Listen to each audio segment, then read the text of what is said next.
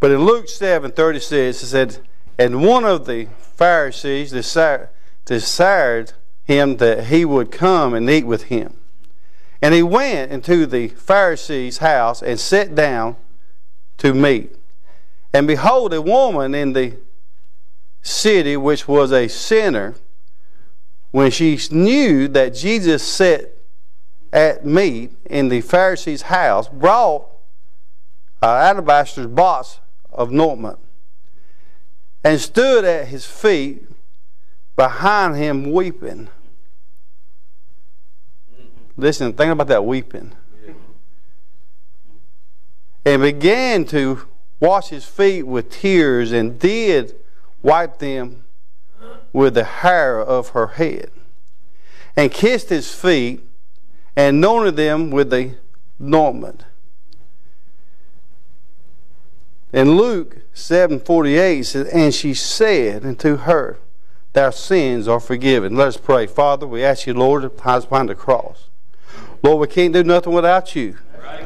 Lord, I ask you, Lord, if someone here tonight, Lord, is or this morning, I mean, is somewhere in their life that, that this just needs a special touch from me. Lord, I know I've been there before.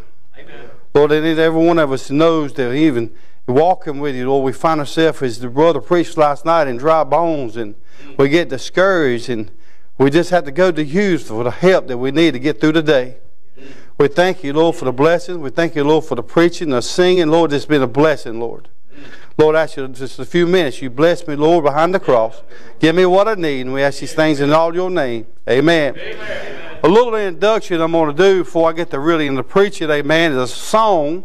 It's really old song that I picked up somewhere. I don't really sing it. Uh, I ain't going to sing it, but I'm going to just talk about it a little bit as I go through and get to my message because it just hits on all of my points. Amen. It's sitting at the feet of Jesus, watching and waiting every day, yeah. trusting in His grace and power, safe and guide me all the way, yeah. leading me at the feet of Jesus. He come, commands to go and stay, trusting always in His wisdom, safe to guide me and obey. Seeking and still at his feet of Jesus, I will seek no other place.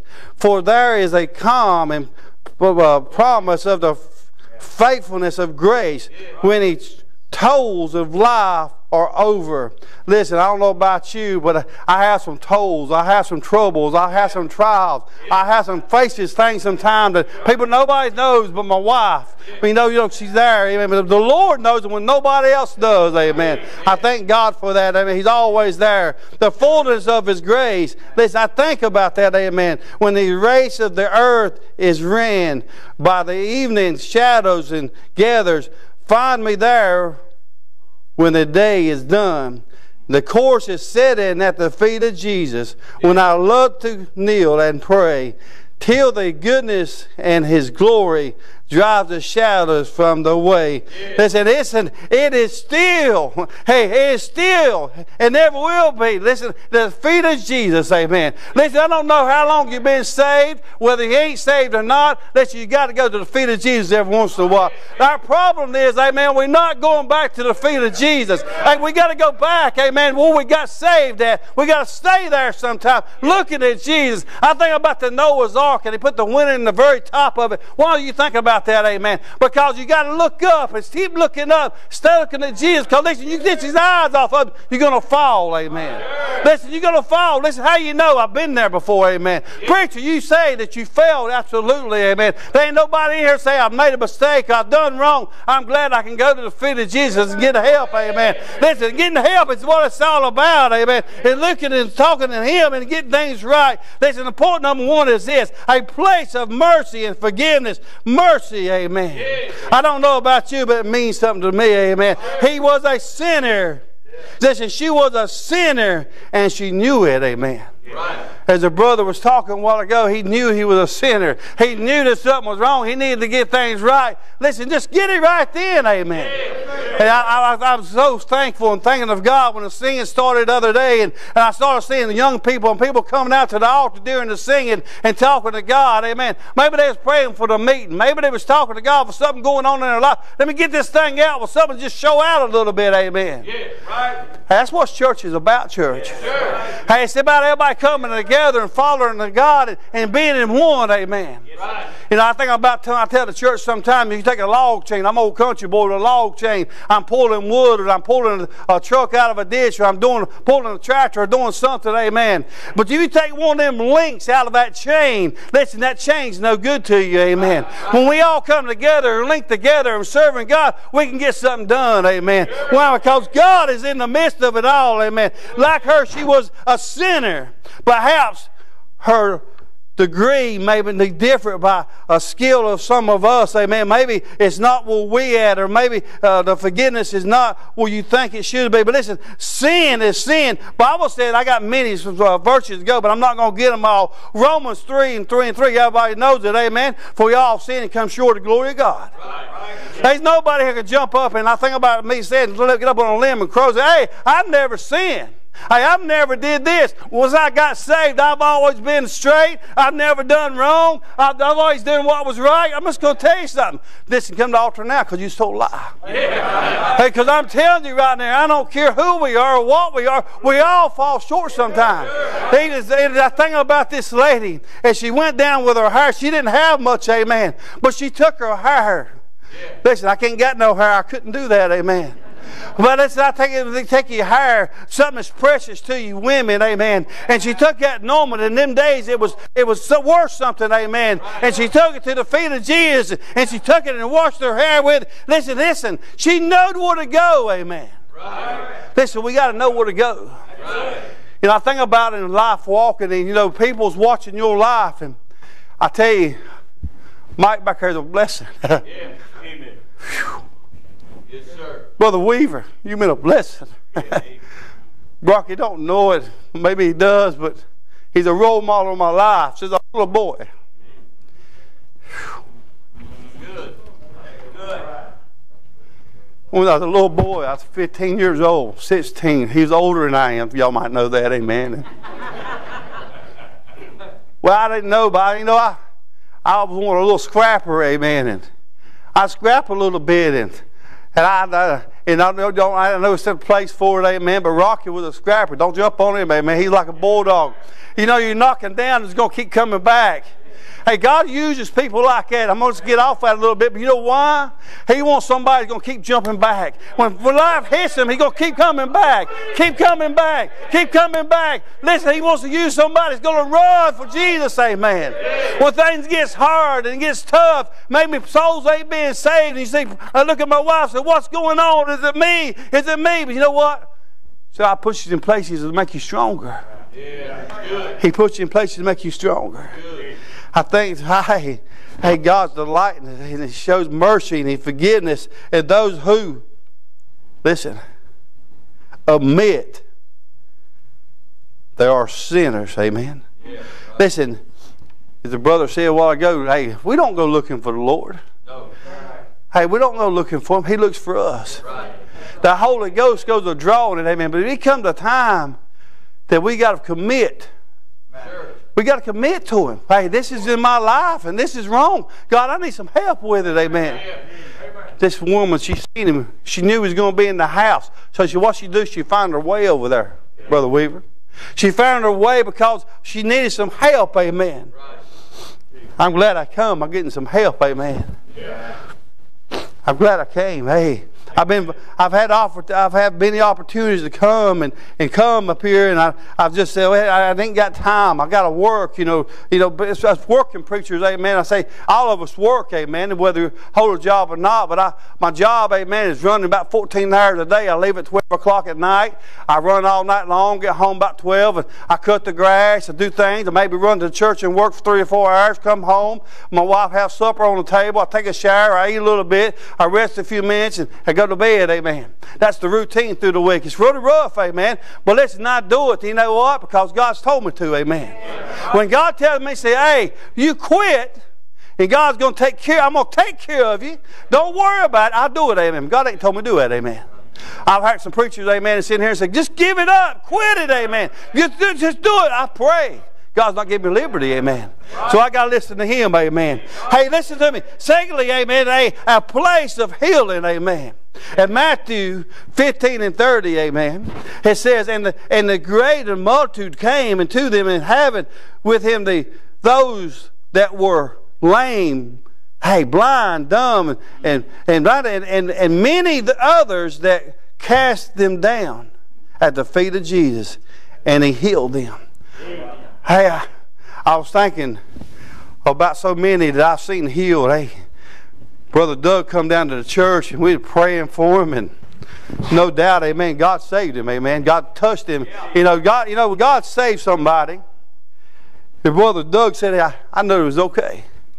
Hey, I, I can tell you stories that, that I've seen people saved. I remember a time and I was a about a 15, 16 year old boy in the church, and it got real thick like it was yesterday and like it was this morning, and, and singing was going on, and had a preacher come up, visiting preacher, going to preach, amen, and, and he was singing a little bit, and the altar started getting full, and people crying, standing up like their brother back there, all over the place, and tears running down, and I, I, did, I didn't nobody knew what to do. The preacher, you know, just singing a song, just kept on singing, and a, a man in the church that had given him six months to live, he come down down right in the middle, or amen, till you know to get to Jesus' feet. Yeah. yeah. It's all about getting to Jesus' feet. Right. Then when he got down there, amen, I can never forget it. The whole church started coming around because they knew what was going on.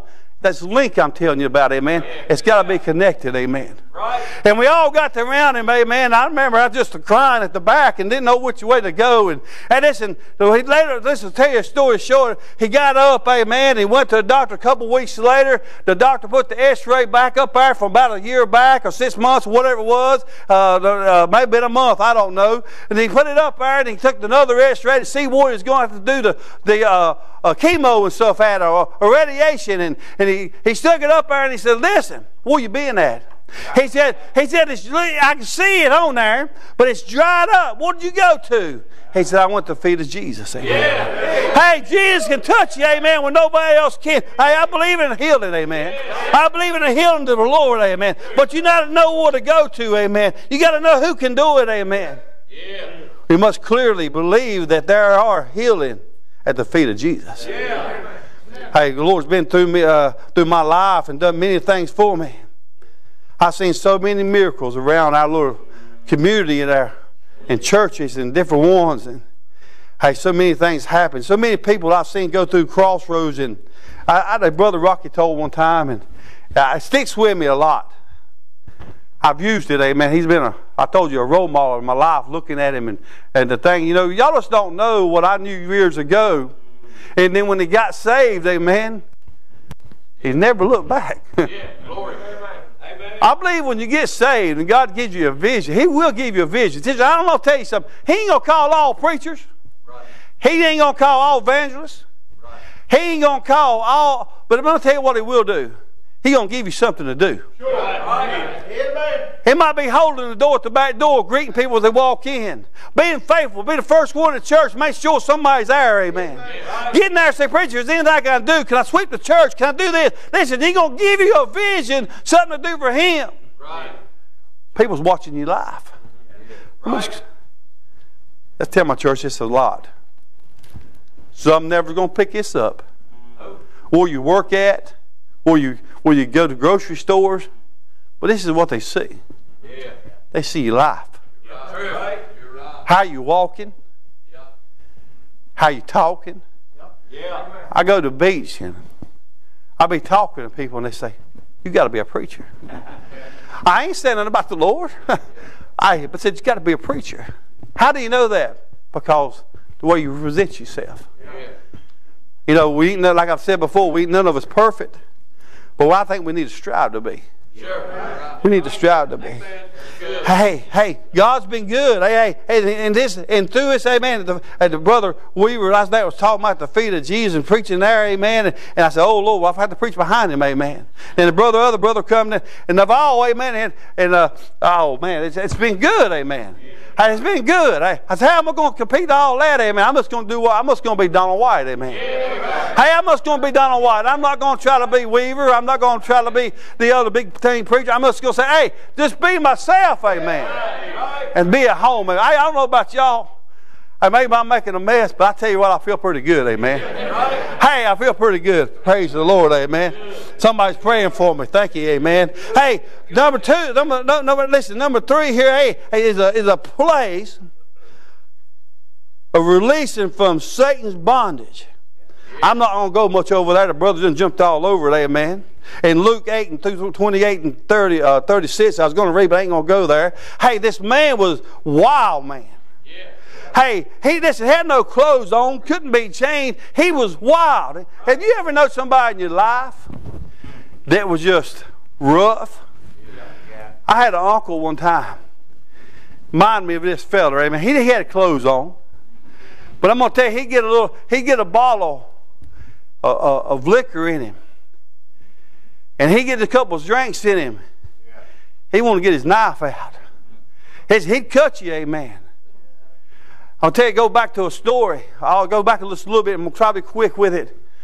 When he was young, he was 18 years old, he got a little bit of liquor sitting on a bar somewhere. And somebody comes saying something he didn't like or wasn't appropriate or what it might have been. He took his knife out and cut a feller pretty bad. Well, he had to go to prison for a little while. Well, my pastor, amen, as, as a young preacher, amen, loved everybody, started going down to the place and getting them on Sunday morning and bringing them to church. And he did that. And he did that. So later on, as this young man uh, got older and he got married, he still ain't saved, which his wife is coming to church. And but he had so much respect for that pastor that he'd come every once in a while. Why? Because we back when he was lost and he was undone, he wasn't got him out of prison and bring him to church. Listen, that's our jobs, amen. We have, we got to love people. We got we got to be caring, amen. This fellow right here, you know, maybe they cast him out in a, in, in, a, in a cave. Nobody cared about him. But I'm glad that he knew who loved him. Amen.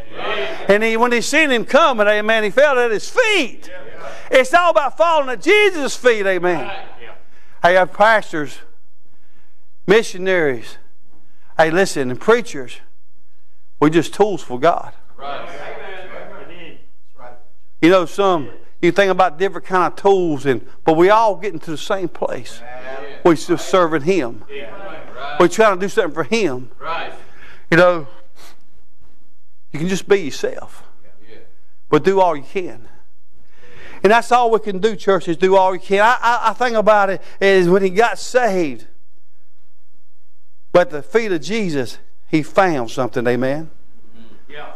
I think about a lot of us, amen, when we was down and lost and, and done, amen. Hey, he found a pardon. Yeah. Yeah. yeah. Not only did he find a pardon, he found some peace. Yeah. and he found some power of the Lord, amen. Then he had a purpose. Yeah. He had a purpose. Samuel, you got a purpose, brother. God gives something to you in your heart. and You got a burden for it, amen. And, and you're trying to do all you can to get there, amen. That's our job.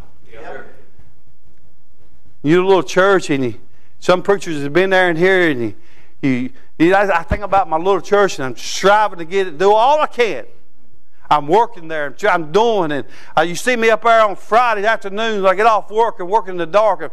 Uh, I worked up there Saturday to dark. Amen. Trying to do things to make it look more presentable to people. Amen. Amen. Hey, hey, God's house is supposed to look good. Right. Hey, if your house, you're going to paint the walls and new carpet down, make things look great. It's our job to keep the church looking good. Amen. And if everybody pitches in together, amen, amen. to get the work done for the Lord. Amen. amen. I don't know where that come from, but it's still good, amen. Yeah. I said, that, but listen, there's victory over Satan, amen. Right. When you come to know the Lord, Satan is he gonna be on your back. I ain't gonna never tell you. Listen, I will never tell you. You come and get right with God, start walking with Him, talking with Him, and you won't have no more troubles. I ain't gonna tell you that. Because I'm gonna tell you this: He's gonna be on you harder than ever. He's gonna fight you in every hand. But I'm gonna tell you what you do. Just go to the feet of Jesus. and I, I'm just old country boy. Said, Lord, hey, hey, Lord, here I am again. this is my favorite saying. Lord, I need your help. Right. Hey, Lord, I need your help. I was sitting back a while ago, and the kids up here just a singing, and my heart was just flowing, amen. And.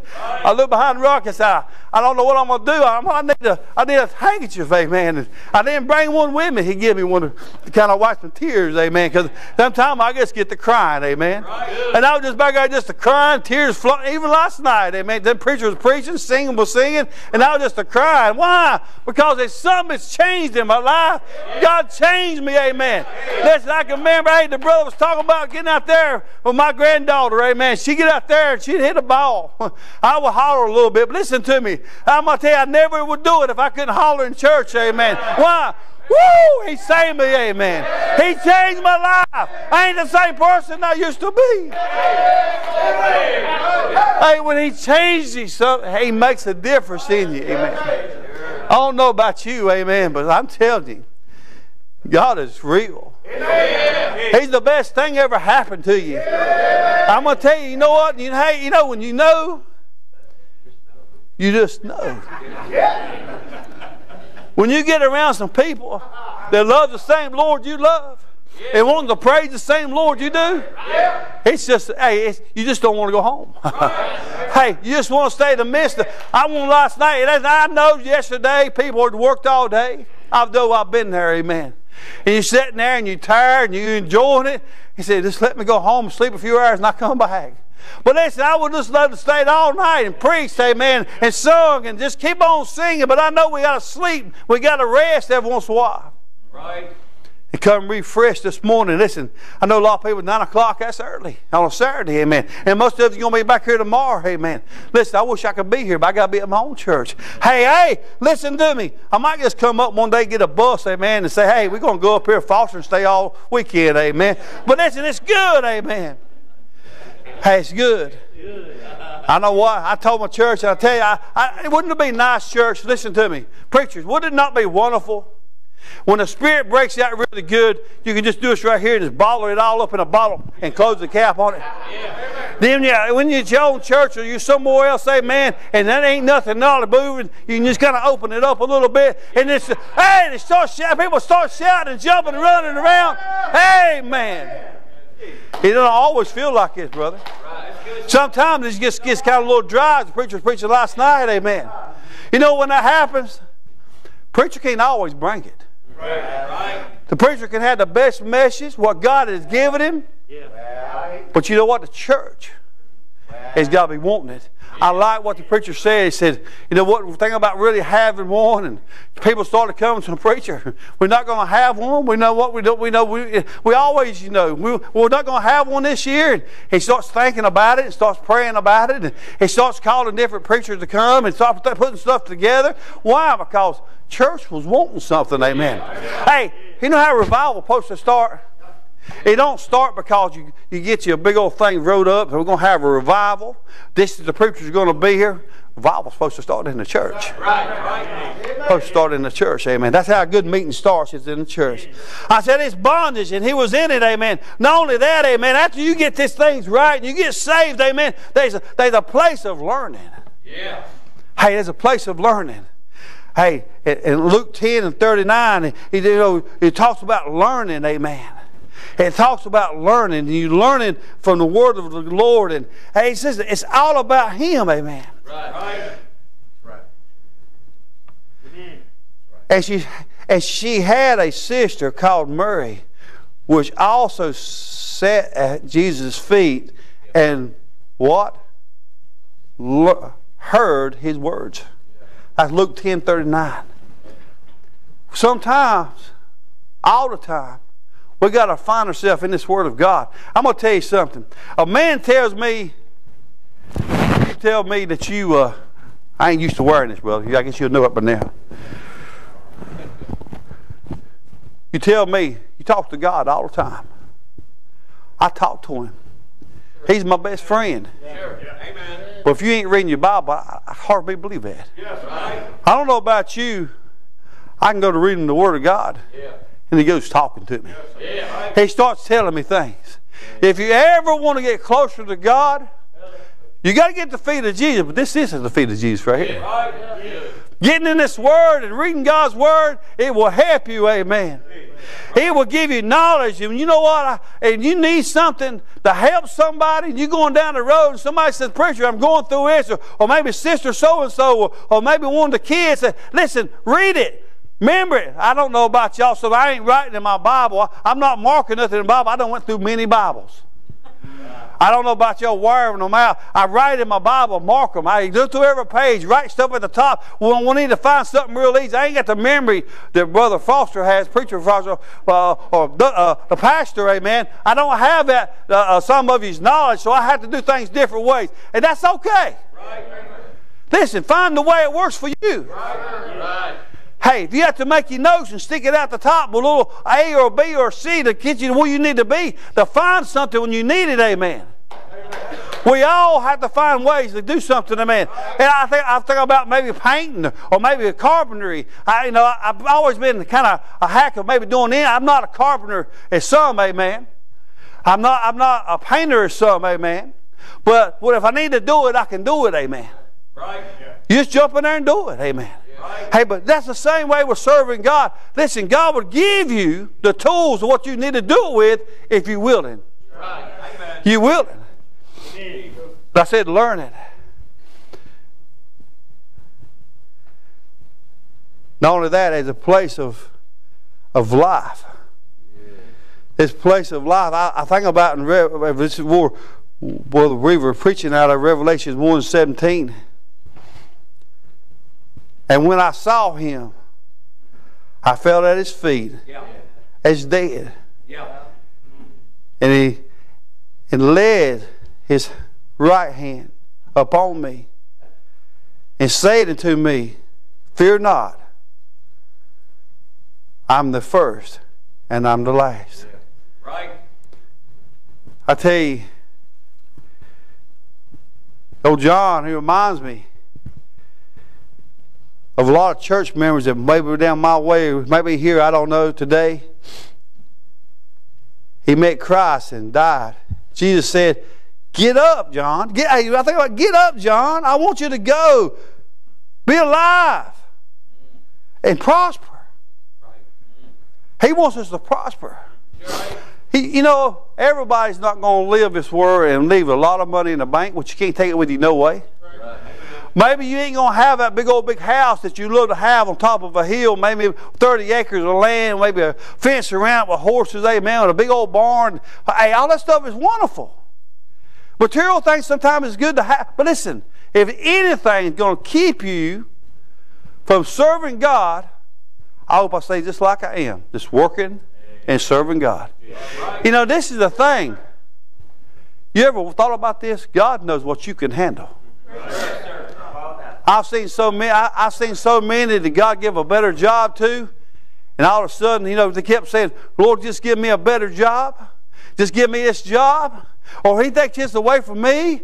I'm gonna start doing more for God. I'm gonna be in the church. I'm gonna start doing this. You know what happens? We get the better job. They forget about God. Forget about God.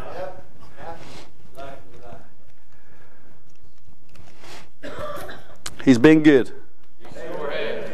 He's been good to me.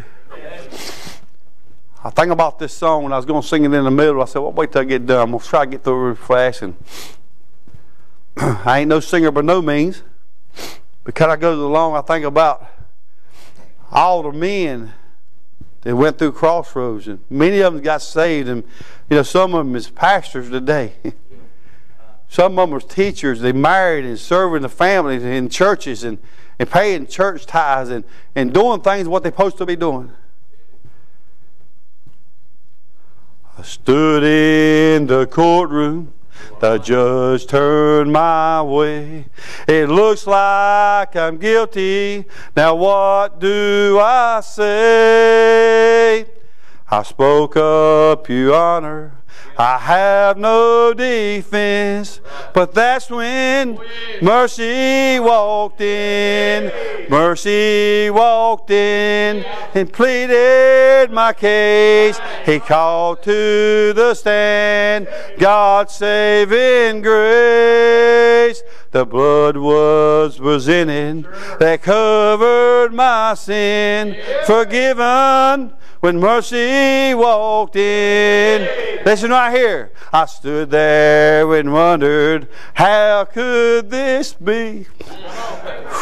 That someone so guilty had just been set free. My chains was broken. I felt born again. That moment when mercy walked in, mercy walked in, pleaded my case. He called to the stand, God's saving grace. The blood was presented that covered my sin, forgiven when mercy walked in. Amen, preacher. Amen. Thanks to listeners like you, IBC has had over 100,000 views on our YouTube channel. If you haven't already, subscribe today. And as always, thanks for listening.